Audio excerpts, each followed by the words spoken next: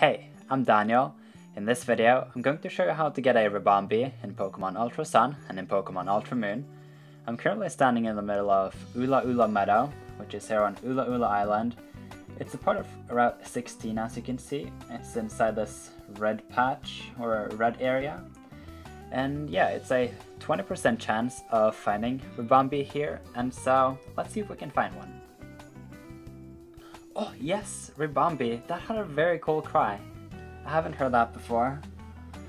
Alright, this is a fairly easy Pokemon to catch, and so I'm gonna send up my Hawlucha and let's see what happens. Alright, I got it. Gotcha. Ribombee was caught.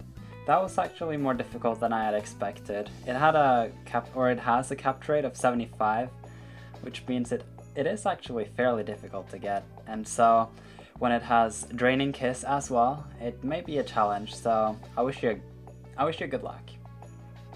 Yeah. that was it for this video. If you like what you saw, you will likely find more Pokemon themed videos to enjoy here on the channel.